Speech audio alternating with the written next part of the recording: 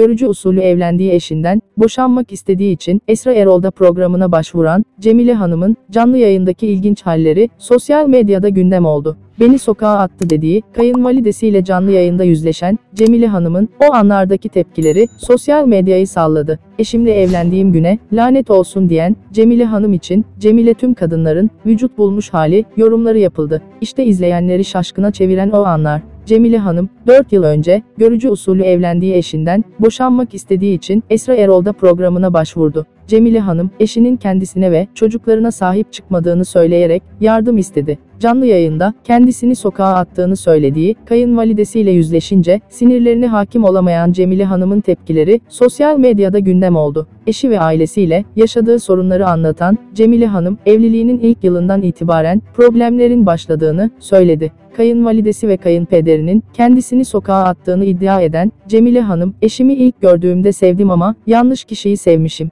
Lanet olsun, onunla evlendiği güne dedi. Kayınvalidesiyle canlı yayında yüzleşen Cemile Hanım, verdiği tepkilerle ve ilginç hareketleriyle sosyal medyanın gündemine oturdu. Cemile Hanım'ın canlı yayındaki ilginç hallerini paylaşan birçok kullanıcı, Cemile tüm kadınların vücut bulmuş hali yorumları yaptı.